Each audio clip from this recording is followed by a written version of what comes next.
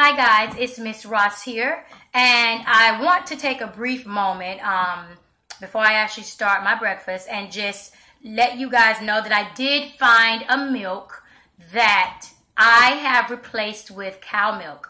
Um, some of you guys remember I did an article on my blog a while ago um, about how um, this art, this particular article that I was reading stated that the cow milk was not healthy for the human body.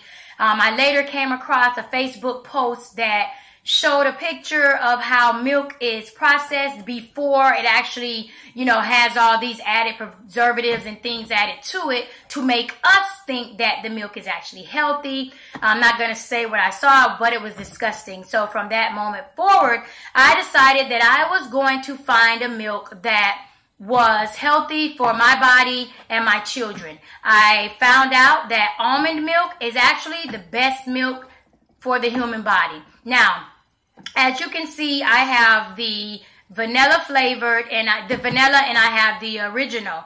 Um, I, I wanted to try both of them. I actually had my daughters sample to see which one they actually liked. And um, basically, we concluded that I, I pretty much like both of them. My children like the vanilla flavor because the vanilla flavor, it has like a sweetener to it. So if anybody has ever had the um, sweetened condensed milk, it kind of tastes like maybe that's put in there, but I don't think it is. Um, if you read the label here, I know you guys probably can't see it. Let's see. Can you guys see that? Second. It's probably backwards, so okay. Well, anyways, I'll read it. It says, um, it's dairy and lactose free. It's soy free.